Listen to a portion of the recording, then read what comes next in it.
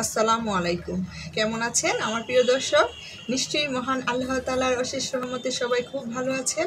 আমিও আল্লাহর রহমতে খুব ভালো আছি। আজকে আমি করে দেখাবো কলা দিয়ে ভীষণ মজার একটি কাবাবের রেসিপি আর এই কাবাবটা খেতে এত মজা হয়েছে, মাংসর কাবাবও এই কাবাবের কাছে হার মানাবে। আর এই রেসিপিটি শুরু করার আগে আমি প্রতিবারের মতো আমার প্রিয় দর্শকদের একটি ছোট্ট অনুরোধ করে নিচ্ছি যারা এখনও আমার চ্যানেলটিকে সাবস্ক্রাইব করেননি প্লিজ সাবস্ক্রাইব করে দিবেন। আর যারা আমার চ্যানেলটিকে সাবস্ক্রাইব করে সব সময় আমার পাশে আছেন, তাদেরকে অসংখ্য ধন্যবাদ জানিয়ে আজকে রেসিপিটি শুরু করছি। তাহলে চলুন দেখি কীভাবে এই মজাদার কাবাবটি তৈরি করেছি।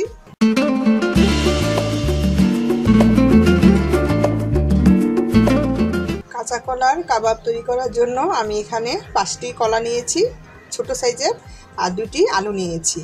আর এগুলো আমি সব সিদ্ধ করে নিয়েছি আগেই। এখন এগুলোকে আমি ছিলে তারপরে এটাকে মেশ করে নেব। এখন হালকা গরম অবস্থা মানে থাকতে আলু আর কলা এটাকে ডলে নিতে হবে। আর যদি ঠান্ডা করে ডলেন, তাহলে দেখা যাবে শক্ত হয়ে যাবে, এটা মেশ করতে সমস্যা হবে। এই জন্য হালকা গরম থাকতে থাকতে এটিকে মানে ডলে নেবেন। কলা আর আলু ভালো করে মেখে নিয়েছি। এখন এর মাঝে দিয়ে দিব আমি এখানে কাঁচামরিচ দিচ্ছি আমার স্বাদ মতো। আপনারা আপনাদের স্বাদ মতো দিয়ে নেবেন। আর এখানে পেঁয়াজ দিচ্ছি মিহি কুচি করা। এখানে বড় সাইজের একটি পেঁয়াজ নিয়েছি। আর দিয়ে দিচ্ছি এখানে অনেকখানি পুদিনা পাতা। কুচি করে কেটে নিয়েছি। আর এই কাবাবটার মধ্যে পুদিনা পাতা দিতে হবে। তার সাথে দিয়ে দিচ্ছি আমি এখানে পেঁয়াজ বেরেস্তা। এখানে প্রায় ওয়ান থার্ড কাপ পেঁয়াজ বেরেস্তা আছে। আর দিচ্ছি এখানে গরম মশলার গুঁড়ো দিচ্ছি হাফ চামচ। চাট মশলা দিচ্ছি হাফ চামচ। এই মশলাগুলো কিন্তু অবশ্যই দিতে হবে না হলে ওরকম স্বাদ পাবেন না। আর টালা জিরার গুঁড়ো দিচ্ছি হাফ চামচ। তার সাথে দিয়ে দিচ্ছি একটি ডিম।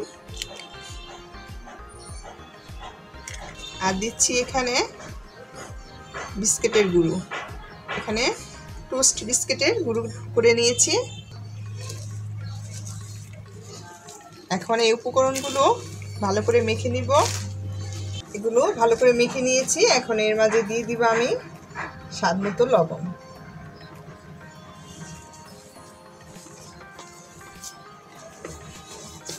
আবারও এটাকে ভালো করে মেখে নিতে হবে।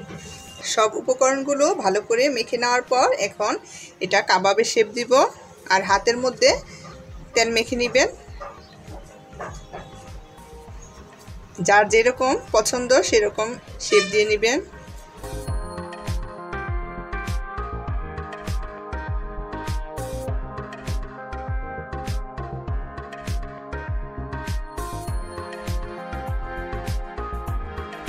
কাবাবটা কিন্তু সবসময় এরকম শেপই হয়।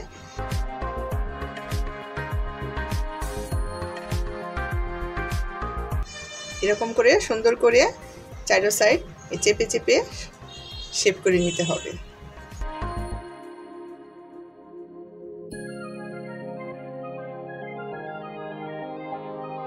এরকম করে আমি সবগুলো বানিয়ে নিব। সবগুলো কাবাব বানিয়ে নিয়েছি। এখন এটাকে ভাজার জন্য আরেকটি কাজ করে নিতে হবে। কাবাবটা ভাজার জন্য একটা মানে পেস্ট তৈরি করে নিব। এখানে আমি কর্নফ্লাওয়ার নিয়েছি।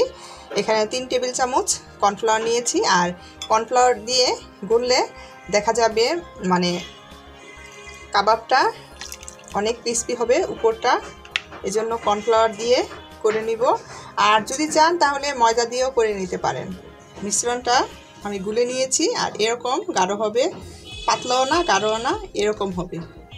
এখন আর এটা যখন আমি কাবাবটা এটার মধ্যে দিব, তার আগে এটাকে নেড়ে চেড়ে একটু মিশিয়ে নিতে হবে। নাহলে দেখা যায় কর্নফ্লাওয়ারটা নিচে জমে যায়। এখন তেলে দেওয়ার আগে এটাকে দিয়ে এটাকে চুবিয়ে নিব। তারপর এটাকে তেলের মধ্যে দিব। কাবাবটা ভাজার জন্য তেলটা আমি আগেই গরম করে নিয়েছি। এখন সেই তেলের মাঝে কর্নফ্লাওয়ারে চুপিয়ে রাখা কাবাবটা দিয়ে দিতে হবে। সবগুলো কাবাব দেওয়ার পর এটাকে এক মিনিট পর এটাকে উল্টিয়ে দিতে হবে আর চুলার আঁচটা মিডিয়াম থাকবে। কাবাবগুলো ভাজা হয়ে গেছে। এরকম কালার যখন হবে তখন এটাকে নামিয়ে নেব। আর নামিয়ে এটাকে টিস্যুর মধ্যে কিংবা পেপারের মধ্যে রেখে দিবেন, তাহলে তেলটা বাকি তেলটা টিস্যু কিংবা পেপার শুষে দেবে এরকম করে আমি বাকিগুলো ভেজে তৈরি হয়ে গেল অসম্ভব মজার এই কলার কাবাব বাসায় অবশ্যই ভিডিওটা দেখে ট্রাই করবেন। আর আমি ভিতরটা ভেঙে দেখিয়ে দিচ্ছি, এটা কীরকম হয়েছে দেখুন। আর এটার স্বাদটা কিন্তু অনেক বেশি ভালো হয়েছে, বাসায় অবশ্যই ট্রাই করবেন। আর এরকম আরও রেসিপি পাওয়ার জন্য আমি সবাইকে আবার অনুরোধ করে নিচ্ছি। প্লিজ আমার চ্যানেলটিকে সাবস্ক্রাইব করে দিবেন। সবাই অনেক অনেক বেশি ভালো থাকবেন। আমার জন্য দোয়া করবেন। আল্লাহ হাফেজ।